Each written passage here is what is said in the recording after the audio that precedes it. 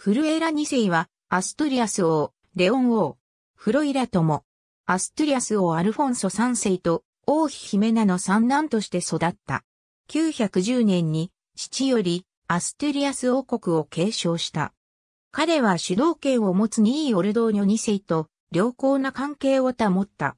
二人はレコンキスタで協力し、オルドーニョが作成した免状に、フララレックスと署名している。924年にに、オルドーニョが死ぬと、権力者たちは、オルドーニョの息子たちを無視して、フルエーラをレオン王に選出した。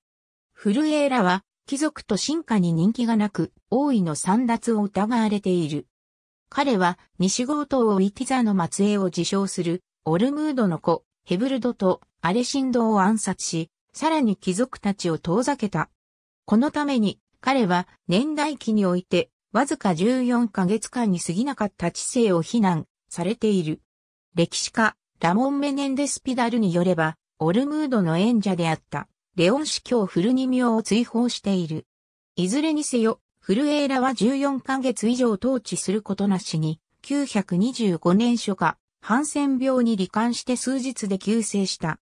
フルエーラの死によって、継承問題が発生し、弟のラミーロ、先代オルドーニョ2世の息子たち、そしてフルエーラの年若い息子たちが権利を主張した。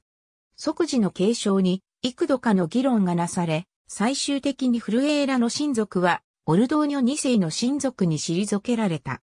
最初の妻、ヌニロ・ヒメネスとの間に一死を設けた。917年以前、バヌカシー家が支配するトゥデーラの総督の娘ウラカと再婚した。ありがとうございます。